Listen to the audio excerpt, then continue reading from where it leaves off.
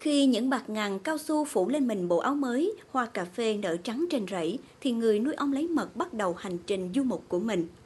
Họ rong ruổi khắp nơi từ Nam ra Bắc, từ cao nguyên đến đồng bằng, vượt chặng đường hàng nghìn km để mang ong đến những nơi đang có hoa nở rộ để đánh mật. Thời điểm bước sang tháng 4, các rừng cao su ở Tây Nguyên đã hoàn tất công đoạn thay lá. Đây cũng là lúc những người đưa ong đi đánh mật di chuyển sang tỉnh khác để tiếp tục hành trình theo những mùa hoa. Suốt nhiều năm nay, anh Lê Bá Ngọc Tiên Phước Quảng Nam cùng vợ cứ lặp đi lặp lại hành trình như thế với gần 400 đàn ong của mình. Mỗi chuyến đi của anh chị thường kéo dài hàng tháng trời, khi thì bắt gặp anh ở Tây Nguyên, lúc thì anh chị lại xuôi các tỉnh miền Trung như Quảng Nam, Quảng Ngãi, Huế để khai thác mật hoa keo, hoa tràm. Có lúc, vợ chồng anh cùng đưa đàn ông ra Hưng Yên, Bắc Giang để theo mùa hoa nhãn, hoa vải. Cứ nơi nào có hoa thơm cỏ lạ là những người nuôi ong lấy mật như vợ chồng anh Ngọc tìm đến. À, con tâm là năm nay, năm ngoái là đi Bình Phước. Nói chung năm nào cũng thuận nơi nào mình đến nơi đó. Trước khi mình đi đến đâu là mình phải đi, à, mình chưa mang ong đến mà mình tự đi tìm điểm. Mình đến nơi đó mình kiểm tra. Ừ. Mình thấy à, điểm đó đẹp. Rồi bắt đầu mình về mình mới nem ong mình chuyển ong đi. mình cứ chạy theo con ong rồi cứ chỗ nào thuận lợi hay là có hoa phấn mật tự nhiên là mình đi cứ nơi nào có hoa thơm của lạ là mình tới Cũng chính vì lỡ theo nghề nên có người vượt hàng nghìn km để đưa ong đi đánh mật. Những người nuôi ong không khác gì dân du mục thực thụ, bởi hầu hết họ là dân tứ xứ, rong ruổi khắp mọi miền. Nghề nuôi ong là dân tứ xứ không? Anh hỏi miền Tây, miền Bắc, miền Nam, miền gì cũng có hết. À, Tuy ở rừng núi nhưng miền gì cũng có trong này hết. Các tỉnh miền Tây hình như hầu như hầu như có mặt hết. Nghề nuôi ong lấy mật không phải lúc nào cũng thuận lợi. Đây là nghề được cho rằng vốn nhiều may rủi.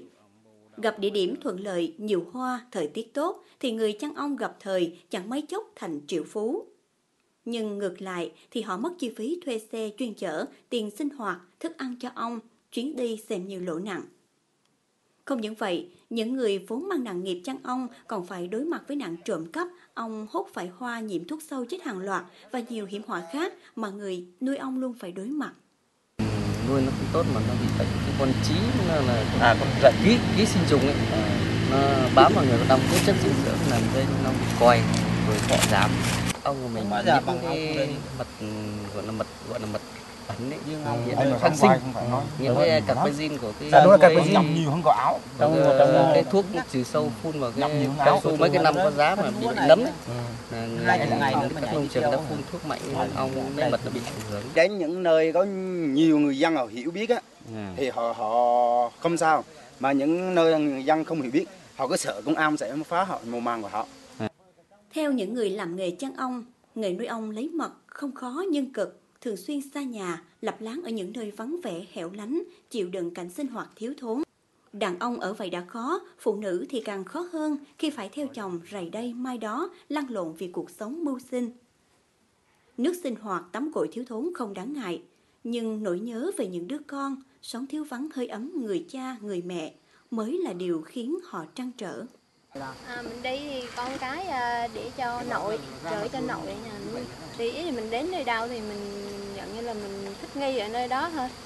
Mình à, giờ mình đi miết rồi mình cũng quen hết nhỉ mình biết là mình nuôi ong mình ở rừng ở núi thì kiểu mình đến đâu cũng như ở đó vậy.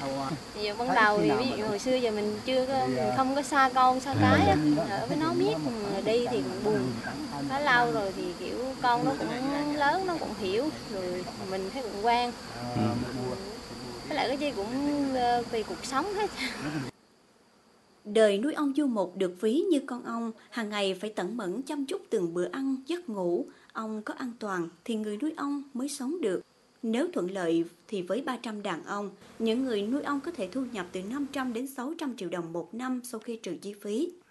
Tuy điều kiện sống nhiều gian khổ, nhưng với những người chăn ong thì ngày nào cũng là ngày xuân, bởi vốn dĩ ong tìm hoa, nơi nào có hoa là nơi ấy là mùa xuân.